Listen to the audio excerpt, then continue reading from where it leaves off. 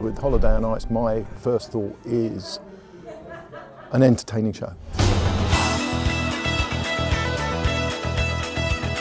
Whether it's big costumes, um, whether it's fantastic skating or whether it's comedy, Holiday on Ice has the package. So my big challenge is bringing something that skaters wouldn't bring to this, is, is approaching it in a different way. My shows tend to uh, push every department to the limit. You can't do any of this on your own. So you need the people, you need the technicians, you need the artists around you. I normally keep loading ideas upon ideas and that just changes things slightly to make it the next era of shows.